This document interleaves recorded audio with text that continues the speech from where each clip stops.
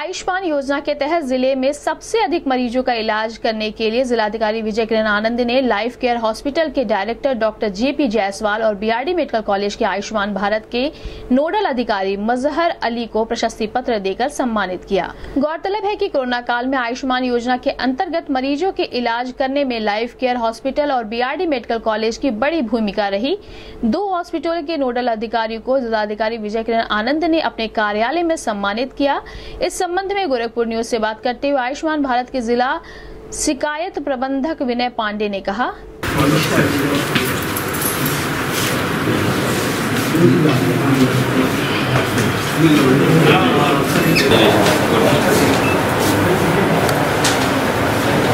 मैं विनय पांडे आयुष्मान भारत का जिला शिकायत प्रबंधक हूँ।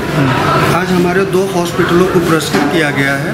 ये स्टेट लेवल से मतलब आदेश आया हुआ था कि जो दो हॉस्पिटल्स, एक गवर्नमेंट हॉस्पिटल्स में और एक प्राइवेट हॉस्पिटल, जिन्होंने बहुत अच्छा परफॉर्मेंस किया है और नीतियों को पालन करते हुए किया है। कोई भी असुविधा नहीं हुई हमारे लाभार्थियों को।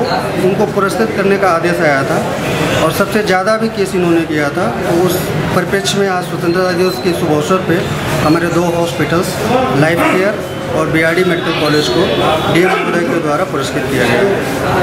किसको किसको मिला पुरस्कार? लाइफ केयर से डॉक्टर जे पी जायसवाल और बीआरडी मेडिकल कॉलेज से डॉक्टर मजहर अली जो उसके नोडल ऑफिसर हैं उनको पुरस्कृत किया गया। है